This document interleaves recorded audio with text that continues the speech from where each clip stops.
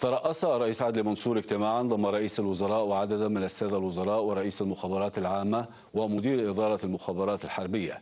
صرع السفير إيهاب بدوي المتحدث باسم رئاسة الجمهورية بأن الاجتماع تناول مستجدات الأوضاع في ليبيا وانعكاساتها المحتملة على مصر فضلا عن سبل تأمين حدود مصر الغربية. كما تناول الاجتماع سبل تأمين الانتخابات الرئاسية القادمة. مع بدء العد التنازلي لإجراء الانتخابات الرئاسية ثاني استحقاق في خارطة المستقبل. ترأس المستشار عدلي منصور رئيس الجمهورية اجتماعا بحضور رئيس مجلس الوزراء المهندس إبراهيم محلب ومشاركة وزراء الدفاع والداخلية والخارجية والنقل والإعلام ورئيس جهاز المخابرات العامة ومدير إدارة المخابرات الحربية ورئيس أركان حرب القوات المسلحة.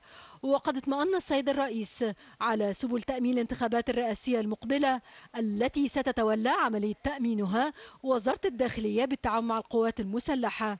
وأعطى المستشار عدلي منصور توجيهاته بتوفير كافة الظروف الملائمة لإتمام عملية إدلاء المواطنين بأصواتهم في سهولة ويسر ودون أي معوقات. كما استمع السيد الرئيس إلى سبل تأمين مقار لجان الانتخابية.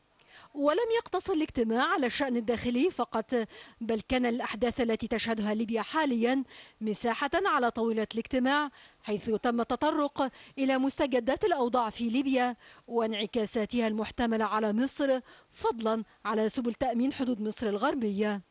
هذا وقد وجه الرئيس عدلي منصور السيد رئيس مجلس الوزراء باتخاذ كل ما يلزم من إجراءات ارتباطا بتطورات الأوضاع الليبية وإنشاء غرفة عمليات لمتابعة تطورات الأوضاع أولا بأول والتعامل مع انعكاساتها على مصر.